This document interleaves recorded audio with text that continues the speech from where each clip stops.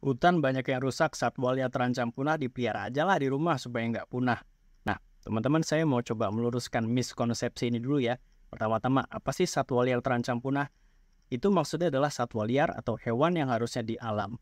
Tapi karena populasinya menurun, maka dia terancam punah. Punah itu artinya kalau populasi sudah habis sama sekali. Oh ya udah kalau gitu kita breeding aja, kita simpan di kandang, taruh di rumah, banyak populasi aman kan? Enggak begitu karena teman-teman kalau misalkan jumlah populasinya hanya banyak di kandang, banyak di rumah, banyak di luar habitat, tapi di alamnya mereka tidak ada. Itu juga termasuk sebagai punah, yaitu punah di alam atau extinct in the wild. Tentunya kan kita tidak mau hal ini ya. Makanya kita harus memperbanyak populasi lalu kita balikin tuh satwa liar ke alam. Nah, tapi kan tadi udah dibilang hutannya banyak rusak. Nah, kerusakan hutan itu adalah ancaman. Setiap kali ada ancaman, maka ancamannya yang harus diselesaikan. Kalau hutannya rusak, ya berarti kerusakan hutannya harus dibenahi. Hutannya harus diperbaiki.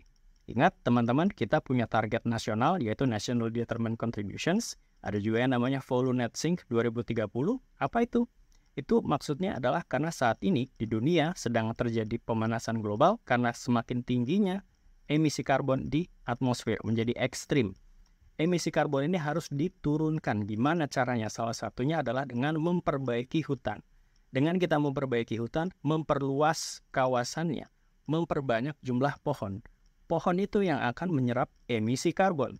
Semakin tinggi penyerapan emisi karbon, maka emisi karbon yang di atmosfer akan turun. Ini yang akan terjadi.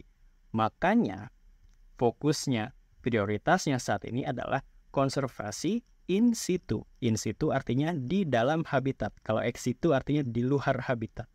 Dan ingat teman-teman, satwa liar dan hutan dan alam adalah bagian yang satu dan sama, nggak bisa dipisah. Jadi ketika kita bicara melestarikan hutan, maka kita bicara melestarikan satwa juga. Kita lestarikan satwanya, kita lepas liarkan satwanya, kita jaga alamnya. Gitu ya teman-teman.